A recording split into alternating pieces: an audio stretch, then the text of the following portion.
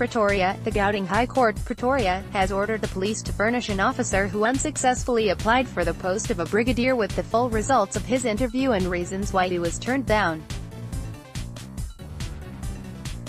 Acting Judge S.S. Madiba, in ordering the police to furnish Benny Nkuna with the reasons as to why his application was turned down, said it was the right of a person to be provided with information held by a public body concerning him or her.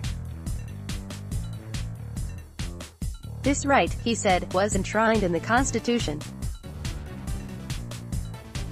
Nkuna said he wrote numerous letters to the police for reasons as to why his application was not accepted, but he was told that they did not need to give him any answers.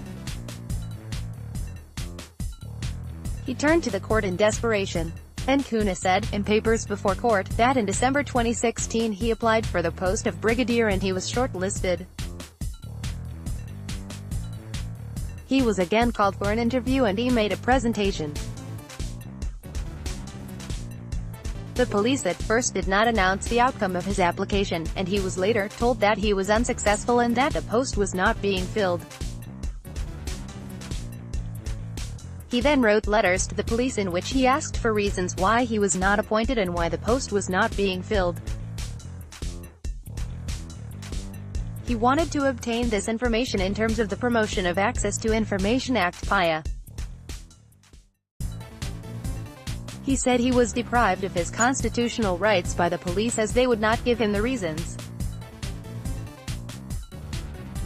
A Lieutenant General Matakata, who was in charge of the interviews, eventually responded that she did not need to give him reasons. Judge Madiba said everyone had the right of access to any information held by the state, except in certain instances such as if it posed a security risk or if the request was frivolous or vexatious.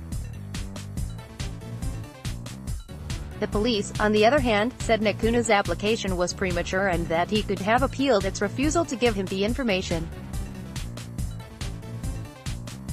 Police further said that as the post was not filled, it owed him no answers. But Judge Madiba said Nkuna had no option but to turn to court as he received no answers from the police. He said it would also not help Nkuna to try to appeal the refusal internally, as it was clearly going to be a fruitless exercise. He said the police had a prerogative to decide to fill any vacancy or not, but it is expected that it should provide reasons for its decisions.